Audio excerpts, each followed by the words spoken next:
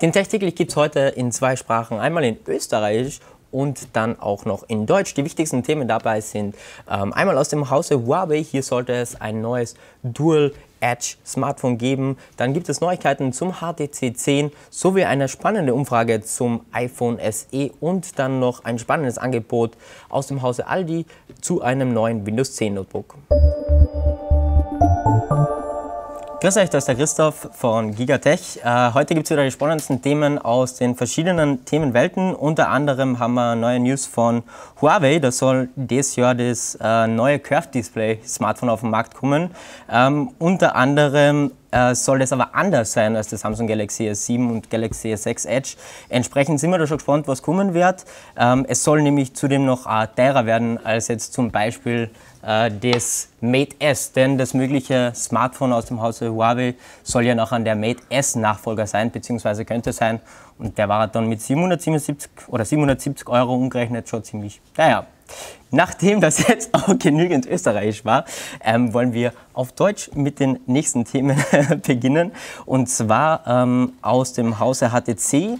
Dort hat nämlich HTC einen neuen Teaser veröffentlicht und zwar Performance hoch 10. Entsprechend hat hier HTC ein bisschen gegen Samsung und andere Hersteller gestichelt und meint, dass das neue HTC 10 das schnellste und flüssigste ähm, Android Flaggschiff sein wird, das es am Markt gibt. Das ist vielleicht gar nicht so schwer oder vielleicht auch schon, denn es gibt ja nicht allzu viele Smartphones, die ein wirklich flüssiges ähm, Android als Betriebssystem bieten. Entsprechend sind wir da schon gespannt, was wir dann am April bzw. am 12. April in ähm, in London sehen werden oder wo auch immer dieses Event stattfindet. Entsprechend erwarten wir uns da einiges, denn ähm, die HTC-Geräte waren zwar immer eine der schnellsten, aber konnten natürlich sonst mit anderen Features nicht mithalten.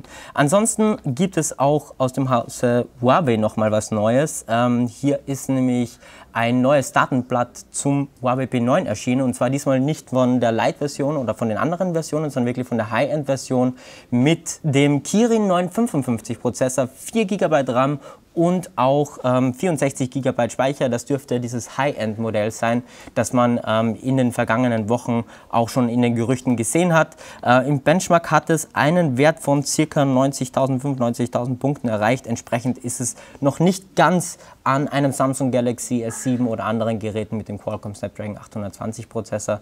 Entsprechend ähm, wird es vielleicht nicht das schnellste, aber bestimmt ein gutes Smartphone werden. Ob es wirklich auch so ist, das werden wir dann spätestens am 1. April in London sehen.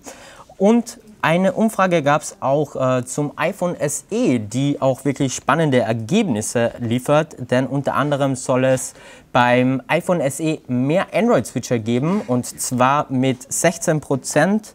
Wenn ich jetzt das richtig in Erinnerung habe, ähm, haben wir hier mehr Switcher von Android auf das iPhone SE als wie noch beim äh, iPhone 6S. Entsprechend dürfte das kleine iPhone SE doch für viele Kunden sehr spannend sein, da es ja doch High-End-Hardware bietet, aber halt im kleinen Format. Ähm, da gibt es noch weitere spannende, spannende Statistiken bzw. Umfrageergebnisse auf dem Bericht bei Giga Apple. Und dann gibt es auch eine News von Giga Windows. Hier gibt es morgen, also am 31. März, quasi ein neues Notebook bei Aldi. Das kostet 349 Euro mit einem 14 Zoll Full HD Display. Was es sonst noch kann, das lest ihr dann natürlich bei Giga Windows. Und ich sehe gerade, der Frank steht auch noch neben mir. Was dich gar nicht stört. Ich wollte nur gerade den äh, Olli grüßen aus Österreich. Der guckt nämlich auch gerade zu. Hallo Olli. Hallo Olli, woher bist du Olli? Ich hoffe, du hast meine Einleitung verstanden, denn das tiefe Kärnterisch versteht ja auch nicht jeder Österreicher. Also entsprechend da gibt es Unterschiede. Da gibt es Unterschiede. Man kann in einen Wiener Schmäh haben, oder heißt Leiwand oder was auch immer. Oder da gibt's ganz ich verstehe nur Sellerie. Wie auch immer, das war's mit dem heutigen Tech täglich. Ganz wichtige Info noch, morgen ist World Backup Day. Entsprechend macht heute bitte eure Backups, damit ihr morgen gesichert in den Alltag geht. Heute Microsoft Bild. Ach ja, äh, noch ganz wichtig. Danke an Ben hier für unseren, von unserem österreichischen Kameramann. Ähm, heute findet auch noch um 17.30 Uhr die Bild 2016 äh, statt. Entsprechend, wenn ihr das Video seht, gibt es eigentlich schon auch die neuesten Infos auf Giga Windows. Entsprechend schaut da vorbei, was das neue Windows 10 Redstone ähm, so alles kann, beziehungsweise ob es schon mehr Infos gibt, wann es ähm, auf den Markt kommt und wann es ausgerollt wird.